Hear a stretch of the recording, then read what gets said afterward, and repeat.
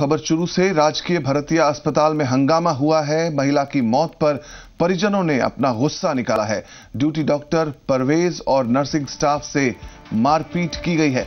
Emergency ward में ECG machine को परिजनों ने तोड़ा है। ऐसा आरोप है कि दरवाजों के शीशे भी तोड़े गए हैं। मौके पर आरएसी जवान समेत पुलिस का भारी बल तैनात किया गया है। पुलिस की मौजूदगी में ये घ, इस घटना को अंजाम दिया गया है।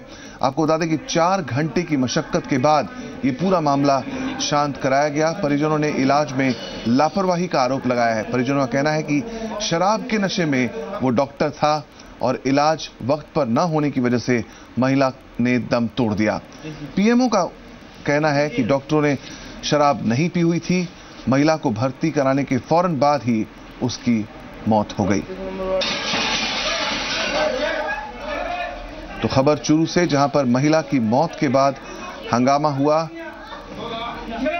राजकीय भरतिया अस्पताल का यह मामला है, जहाँ पर नर्सिंग स्टाफ और डॉक्टर से मारपीट करने का आरोप लगाया गया है, और उसके बाद यह भी आरोप है कि परिजनों ने अस्पताल में तोड़फोड़ की है।